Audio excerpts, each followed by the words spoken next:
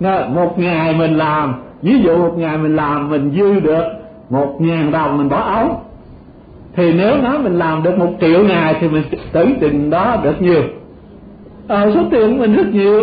Thì vậy mình muốn tiền nhiều thì mình phải nhiều ngày chứ. Mình muốn nhiều nhiều tiền mà muốn làm ít ngày. Tham quá. Cái đó là gian lận chứ đâu được. Phải công bằng cái nhân nó theo cái quả. muốn thành phật, có vô số nghĩa là bồ tát, vô số thanh văn ờ, là quyến thuộc. Rồi cõi nước trang nghiêm, thì mình phải nhiều đời, nhiều kiếp tích tụ, rồi mình mới thành chứ. Cái điều đó mà đó là cái mục tiêu mà chúng ta học ở kinh pháp hoa. Nên nó kinh pháp hoa nó nhiều phước, nhiều đức là chỗ đó đó. Nghĩa là để cho mình có một cái tâm rộng lớn, cái tâm bồ tát để giáo hóa chúng sinh chứ không phải là cái tâm hèn hèn, nhát nhát đó. Phải không? Nghĩa là ngán tu thì ngán dài, ngán khó. Thì cái đó là cái không được. Ừ. nên ở đây, ngài mới nói, ngang đó thì người ta mỏi mệt quá, muốn lui về, thì ngài phải sao? Vị đạo sư nhiều sức phương tiện mà tự nghĩ rằng bọn này đáng thương, làm sao cam bỏ tranh bảo lớn mà muốn lui về? Nghĩ thế rồi dùng sức phương tiện ở giữa đường hiểm quá ba trăm do tuần quá làm một cái thành mà bảo chúng nhân rằng các ngươi chớ sợ đừng lui về. Nay thành lớn này có thể dừng ở trong đó tùy ý muốn làm gì thì làm. Nếu vào thành này sẽ rất được an ổn nếu có thể lại thẳng đến chỗ châu báu đi cũng được. À, thì giờ nghe thấy mỏi mệt quá thôi quá tạm cho một cái thành nhỏ nhỏ. Thôi vô đó chơi đi tha hồ nghỉ ngơi. Cho khỏe. À, khỏe rồi chừng nào muốn đi thẳng tới bảo sở thì cũng được nữa. À, đó là cái phương tiện. Bây giờ chúng mỏi mệt rất vui mừng khen chưa từng có. Chúng ta hôm nay khỏi được đường dữ rất được an ổn. Đó rồi chúng nhân thẳng vào quá thành sanh lòng tưởng cho rằng đã được độ rất an ổn.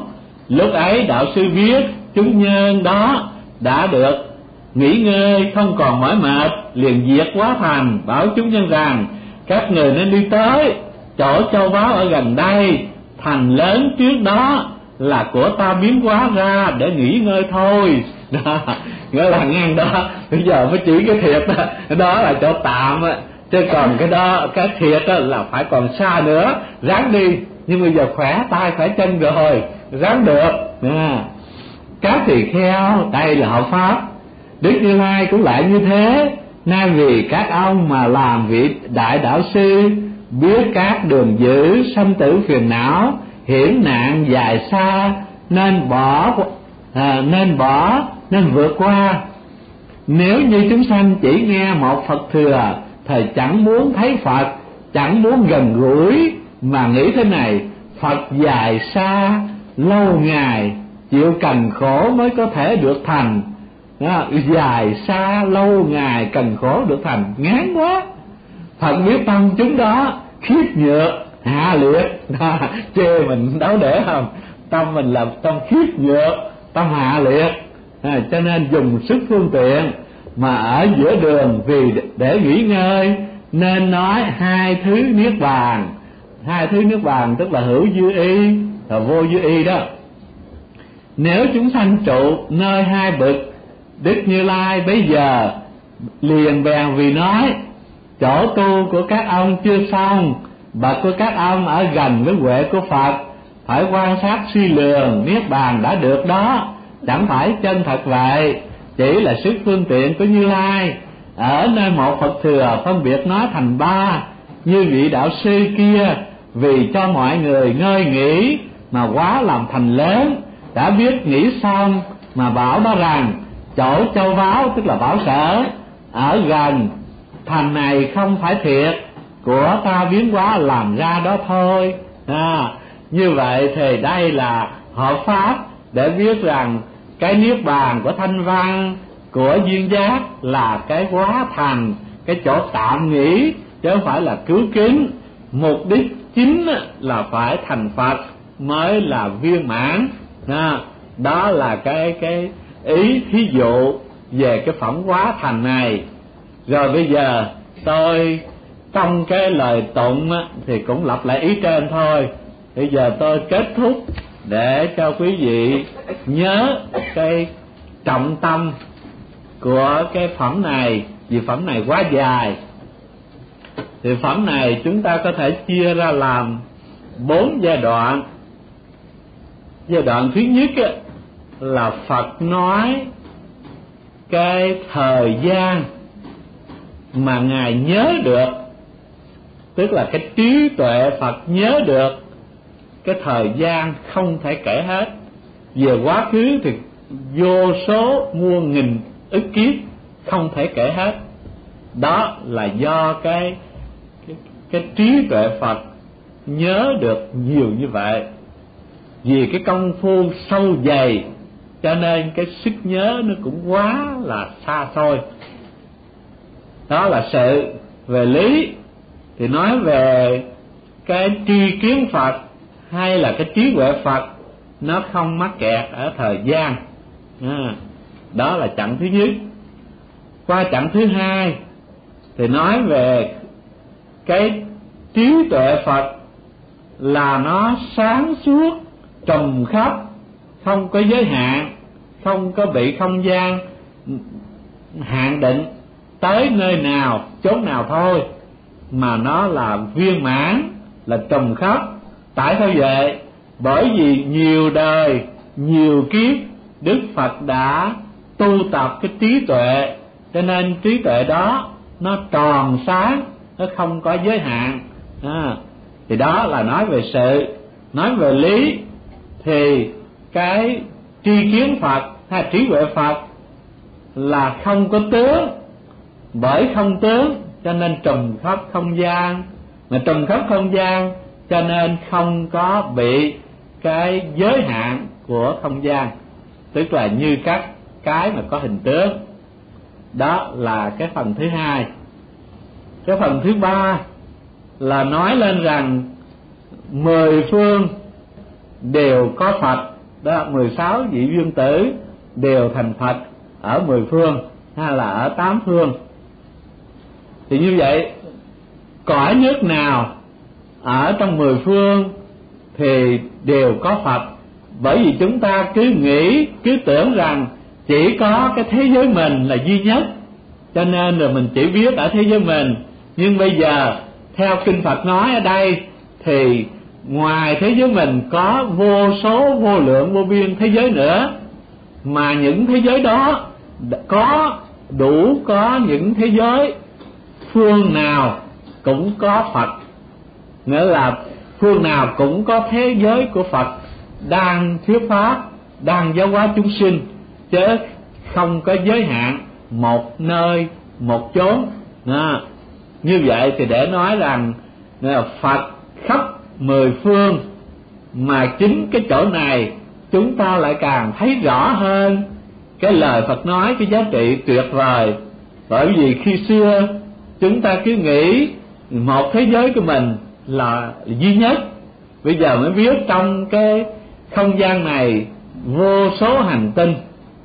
Mà vô số hành tinh, có hành tinh chúng ta mắt thấy tới có những hành tinh thấy không tới thì như vậy biết trong cái thế gian này vô số thế giới.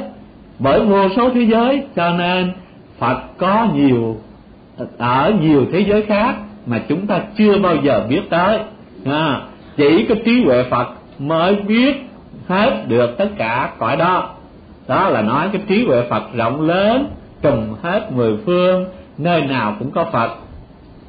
Rồi nói về lý thì như vậy cái cái cái trí huệ phật là cái trí tuệ viên mãn.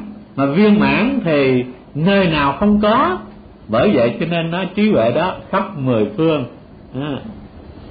rồi đến cái đoạn thứ tư là nói cái thí dụ quá thành, để thấy rằng vì trí tuệ phật rộng lớn, công hạnh của phật là lâu dài mà nói tới cái công hạnh lâu dài, trí tuệ rộng lớn đó, cái người thường, kẻ phàm tục, họ không có thể nào cố gắng theo nổi. Cho nên buộc lòng phật phải nói những cái pháp, phương tiện như là nhân thừa phật giáo, thiên thừa phật giáo, thanh văn thừa phật giáo, duyên giá thừa phật giáo, rồi tới bồ tát thừa. Nghĩa là đi thứ tự để cho người ta dễ ví dụ giờ người đó họ ham tu phật. Mà chỉ tu làm sao đời sau được. Xin làm người có phước hơn đời này thôi. Thì mình nói nhân thừa phật giáo. Còn nếu có người tu nó làm sao sanh được? Cái cõi nào mà đầy đủ ngũ dục khỏi làm mà có ăn à, khỏi à, mai giá mà có mặt thì nó ờ à, tôi sanh cái cõi trời tu thập thiện vân vân. Thì như vậy đó là cái phương tiện của phật chứ không phải là cái mục đích của phật mà mục đích của phật là chỉ đưa người tới cái thành phật hay là được trí tuệ phật mới là cứu kính. Còn những cái chặng đường mà phật nói như là được chứng quả a la hán nhập niết bàn, hay là ngộ được cái quả duyên giác, nhập niết bàn, đó chỉ là cái phương tiện. Bởi vì cái công phu ngắn, tu hành thời gian ngắn thì là công phu ít tu hành thời gian ngắn làm sao được quả phật? Mà đã không được quả phật thì như vậy cái được đó chỉ là cái được tạm thời. Với cái công phu ngắn ngủi với cái sự tu hành uh, ít oi thì cái được kết quả cũng là ngắn ngủi cũng là ít oi.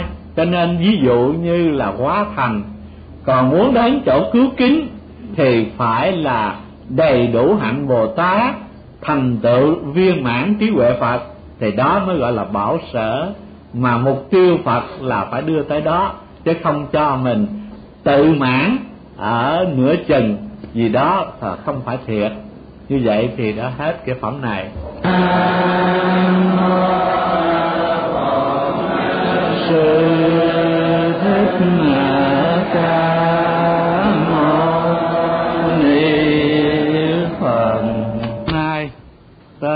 phẩm thứ tám là phẩm ngũ bá đệ tử thọ ký.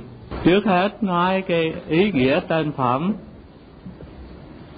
phẩm ngũ bá đệ tử thọ ký, tức là năm trăm người đệ tử của Phật được Phật thọ ký.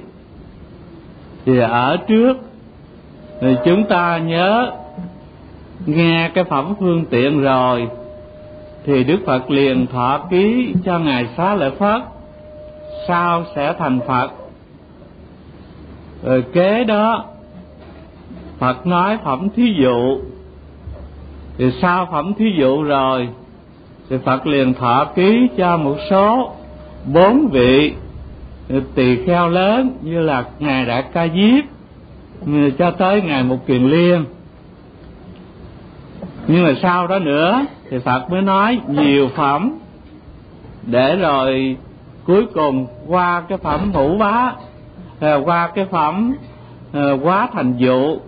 Thì bây giờ đây, các vị đệ tử một lượt tới năm trăm vị đều được Phật thọ ký. Thì như vậy, chữ thọ ký quý vị đã hiểu ở trước rồi. Bây giờ chúng tôi bắt đầu đi thẳng vào chánh văn lúc bấy giờ, ngài mãn từ từ từ nơi đức phật, nghe trí huệ phương tiện, tùy cơ nghi nói pháp như thế, lại nghe thọ ký cho các vị đệ tử lớn, sẽ thành vô thượng chánh đẳng chính giác. Lại nghe việc nhân duyên đời trước, lại nghe các đức phật có sức tự tại, thần thông lớn, được điều chưa từng có lòng thanh tịnh hớn hở, liền từ chỗ ngồi, đứng dậy, đến trước phật đầu mặt lễ chân phật, rồi ngồi, rồi đứng qua một bên, chiêm ngưỡng dung nhan của đức phật. Mắt không tạm rời, mà nghĩ thế này, thế tôn rất riêng lạ, việc làm ít có, thuận theo bao nhiêu chủng tánh của ở trong đời, dùng sức phương tiện tri kiến mà vì nói đó uh, nói vì đó nói pháp vớt chúng sanh ra khỏi các chỗ tham trước. Chúng con ở nơi công đức của phật không thể dùng lời nói mà tuyên bài được. Chỉ có đức phật thế tôn hay biết bổn nguyện trong thâm tâm của chúng con. Như vậy thì đoạn này chúng ta thấy trước tiên là ngài mãn từ tử. Ngài nghe sự thọ ký cho các cái bậc huynh trưởng của mình rồi, thì lòng ngài rất là thanh tịnh, vui mừng, lễ phật. Rồi nghĩ rằng phật thật là ít có. Ngài biết bao nhiêu chủng tánh của chúng sinh và ngài vì mọi người đó nói pháp theo cái chỗ mà họ mong muốn. Bởi vậy nên hôm nay ờ, ở trong hội này nếu mà phật theo cái bản nguyện của mình mà thọ ký cho thì thật là một cái điều sung sướng hay là biết được cái bản, bản nguyện mình thâm tâm của mình mà thọ ký cho. Thì điều đó là cái điều rất là ờ, được trông mong, chờ đợi đã lâu. Đó là nói lên cái tâm khao khát được thọ ký của ngài mãn từ tử. Bây giờ phật bảo các tỳ kheo, các ông thấy mãn từ tử đây chăng? Ta thường khen ông là bậc nhất trong hàng người nói pháp. Cũng thường khen các công thứ công đức của ông. Rồng rặc siêng năng hộ trì giúp tuyên bài pháp của ta. Có thể chỉ dạy lợi mừng cho hàng bốn chúng giải thích trọn vẹn chánh pháp của, của Phật mà làm nhiều việc lợi ích cho những người cùng đồng hạnh thanh tịnh. Ngoài đức như lai không ai có thể cùng tận chỗ biện bác ngôn luận của ông. Các ông chớ tưởng mãn từ tử, chỉ hay hộ trì, trợ tuyên pháp của ta thôi. Ông cũng đã ở nơi chín mươi ức đức phật, thuở quá khứ mà hộ trì, trợ tuyên chánh pháp của phật ở trong nhóm người nói pháp ở đó cũng là bậc nhất. Thì như vậy, ở đây trước hết thì đức phật ngài tán dương cái công đức của ngài mãn từ tử. Vì ngài mãn từ tử là cái người nói pháp bậc nhất ở trong hàng đại chúng. Thì trong cái hàng đại chúng hiện thời ờ, đức phật giáo hóa thì ngài mãn từ tử được gọi là bậc thuyết pháp đệ nhất. Nhưng mà chẳng những trong một đời này mà cho tới chín mươi ức ở thuở chín mươi ức đức phật quá khứ đó ngài đã từng tuyên bố từng nói pháp như vậy. Đó, cũng là bậc nhất. Thì như vậy quý vị thấy ngài mãn từ tử tu hành mà được thuyết pháp bậc nhất không phải chỉ là duyên của một đời, mà đã tới chín mươi ức đức phật đã làm được chuyện đó rồi. Thì như vậy thì chúng ta nghĩ, bây giờ chúng ta có mặt ở đây, tu theo cái hạnh của phật dạy, hoặc hạnh này, hoặc hạnh khác, làm được chút ít lễ cho chúng sinh, thì chúng ta ở chừng chỗ bao nhiêu đức phật tu cái hạnh đó rồi? Nghĩa là ngài mãn từ tử chích muôn ức đức phật thì chắc mình ở cũng được. Chỗ một hai đức phật phải không? À, tuyên nói pháp hoặc là được nghe pháp ngồi nghe pháp thì như vậy mới biết rằng cái hiện tại mà chúng ta đã được một cái ừ, khả năng nào để làm lợi ích cho đạo thì đó là chúng ta đã có chủng, có gieo trồng cái hạt giống lành từ nhiều đời nhiều kiếp, chứ không phải chỉ một đời một kiếp này mà được như vậy.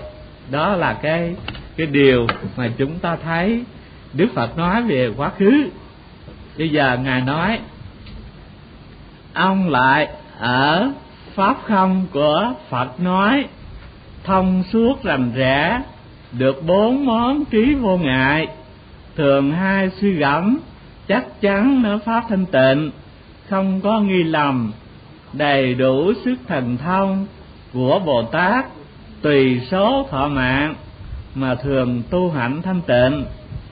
Người đời thở đức phật kia đều gọi ông là, thật là thinh văn. Nhưng ông mãn từ tử, dùng phương tiện đó làm lợi ích cho vô lượng trăm nghìn chúng sanh lại giáo hóa vô lượng vô số người, khiến đứng nơi vô thượng chánh đẳng chánh giác ông vì muốn tịnh cõi phật mà thường làm phật sự, giáo hóa chúng sanh đó. ở đây đức phật nói thuở đó đức phật, ngài đức, ngài mãn từ tử ở chỗ những đức phật đó đã từng căn cứ vào pháp gì căn cứ vào pháp gì mà nói? Thì ở đây nói rằng ở pháp không mà nói nên thông suốt được à, bốn trí vô ngại và thường à, thấy được rõ ràng cái pháp thanh tịnh. Rồi theo cái sức chỉ dạy mà cho các vị đó đủ thần thông à, của các cái vị bồ tát rồi thọ mạng tu hành cũng đều được thanh tịnh. Thì như vậy chữ pháp không ở đây chỉ gì?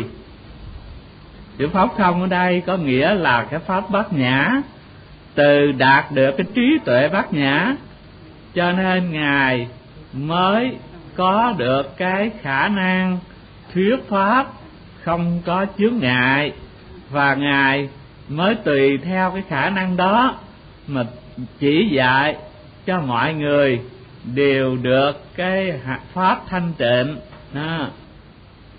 rồi người thở đức phật kia gọi ông là thanh văn. Nhưng mà thực ra không phải. Vì sao? Vì ông dùng phương tiện làm lợi ích cho vô lượng trăm nghìn muôn à, trăm nghìn chúng sanh. Rồi lại giáo hóa vô lượng vô số người khiến được vô thượng cho đẳng chánh giác. Như vậy thì mới biết rằng ông vì muốn tịnh cõi phật mà thường làm phật sự giáo hóa chúng sanh. Như vậy thì ngài thuở trước đã không phải là bậc thanh văn, tức là tu hạnh bồ tát.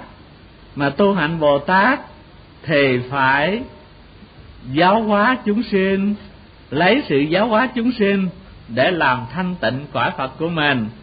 Như vậy thì quý vị thấy, cái giáo hóa chúng sinh là một phương tiện làm cho cái cõi phật mình mai kia được thanh tịnh. À. các tỳ kheo, ông mãn từ tử cũng được bậc nhất ở trong hàng người, nói pháp thỏa bãi đức phật. Nay ở nơi chỗ ta, hàng người nói pháp cũng là bậc nhất. Như vậy thì ở thuở xưa, ngài mãn từ tử là bậc nhất trong hàng thuyết pháp thời đó bây giờ, ở thời đức phật thuyết ca, ngài cũng là người thuyết pháp bậc nhất. Trong hàng người nói pháp thở các đức phật, trong hiền kiếp, về đương lai cũng lại là bậc nhất. Đều hộ trì tuyên bài pháp của phật. Ông cũng sẽ ở trong đời vị lai hộ trì, trợ tuyên chánh pháp của vô lượng vô biên các đức phật giáo hóa làm lợi ích cho vô lượng chúng sanh, khiến an lập nơi đạo vô thượng trên đẳng chánh giác. Vì tịnh cõi phật mà thường xuyên năng tinh tấn, giáo hóa chúng sanh lần lần đầy đủ đạo bồ tát.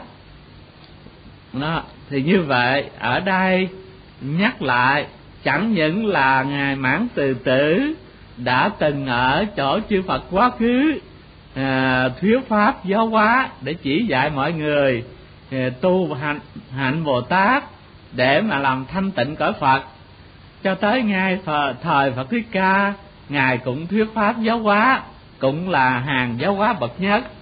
Rồi sau này ở trong các cái đời sau ngài cũng là thuyết pháp giáo hóa cũng là bậc nhất. Cốt vì muốn làm thanh tịnh cõi phật cho nên ngài luôn luôn siêng năng, tinh tấn giáo hóa chúng sanh để lần lần đầy đủ đạo bồ tát. Thì như vậy, tất cả chúng ta thấy rằng bồ tát tu vô lượng, vô ức kiếp, mà chỉ vì muốn được cái cõi phật thanh tịnh để mà sau này chúng, tất cả chúng bồ tát thanh văn đồng về đó tu hành.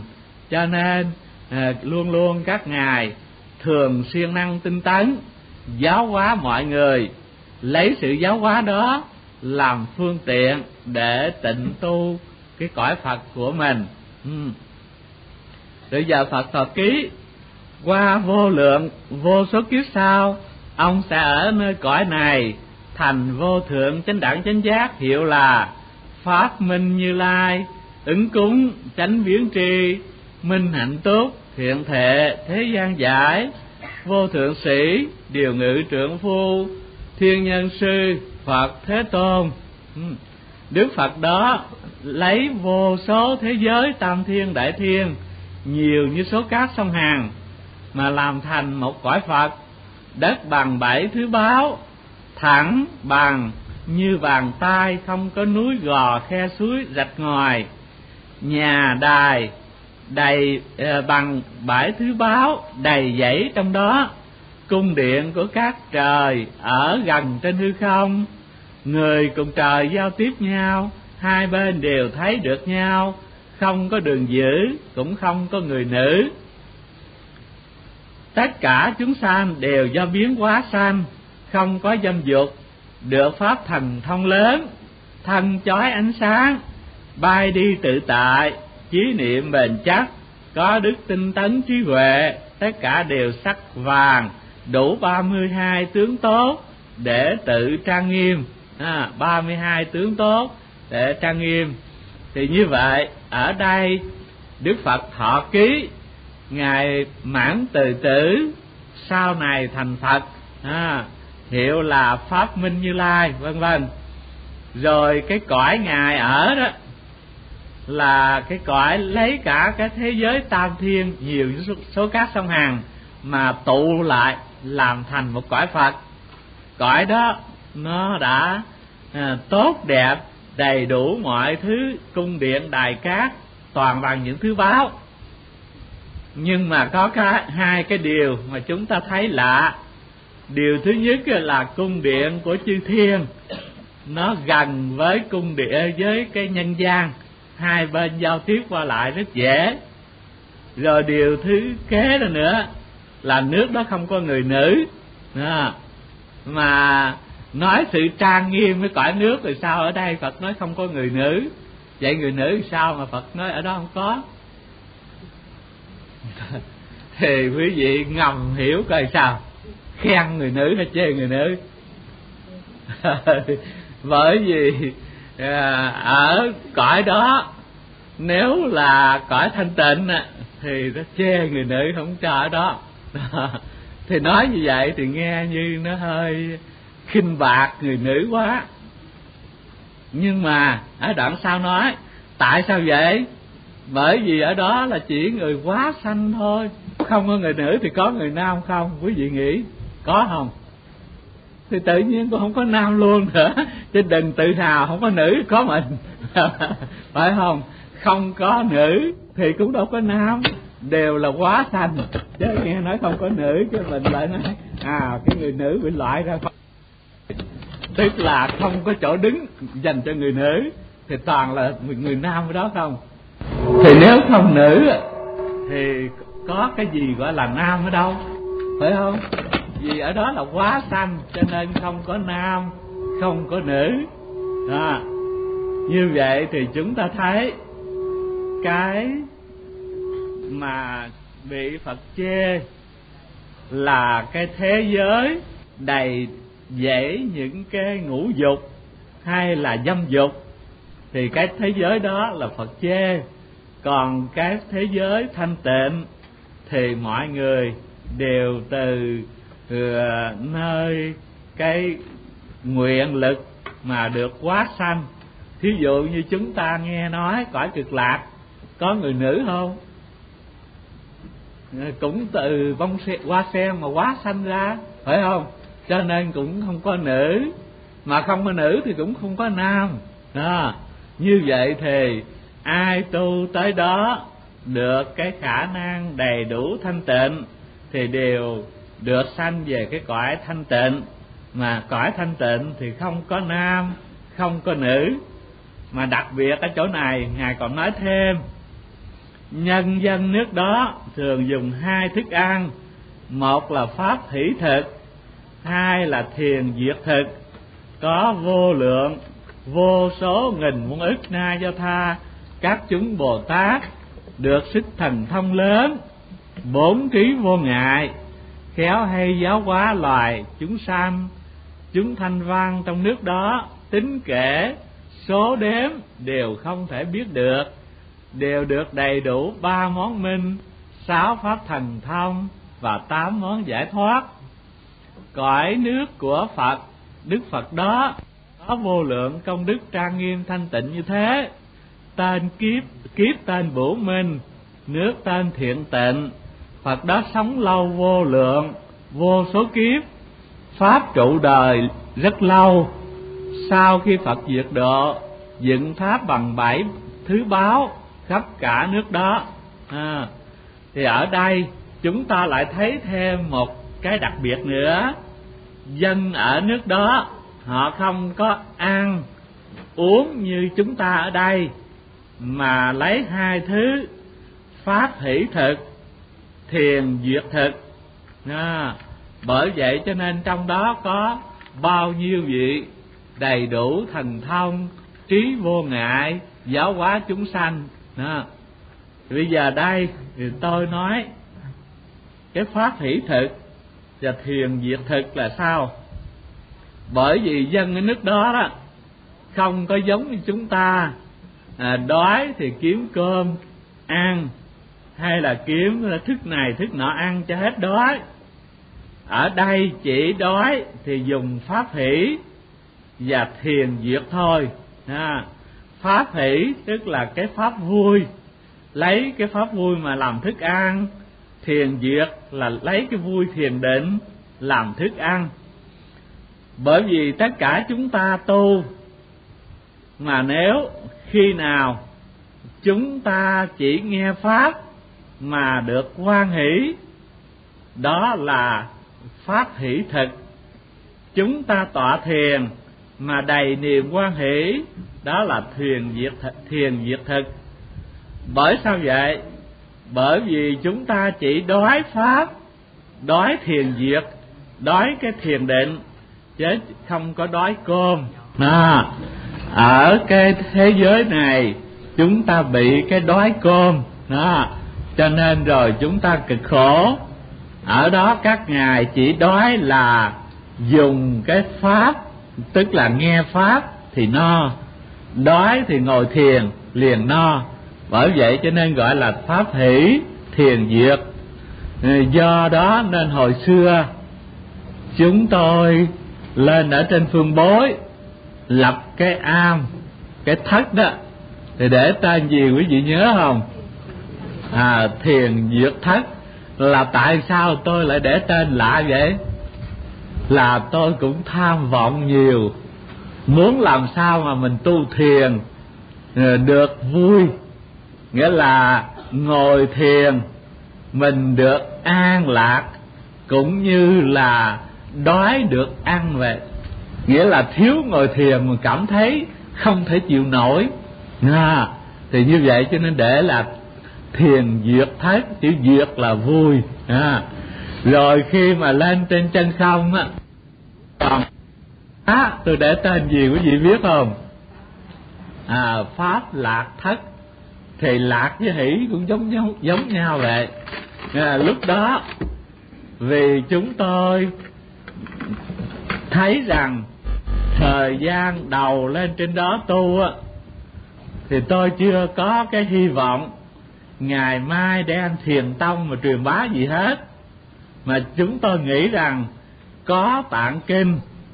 Thì trong cái giai đoạn mà tôi nghiên cứu phiên dịch được một hai phần trong tạng kinh đó đó, là tôi quan hỷ rồi, đọc kinh phật, tôi cũng cảm thấy nó là cái nguồn an lạc cho mình.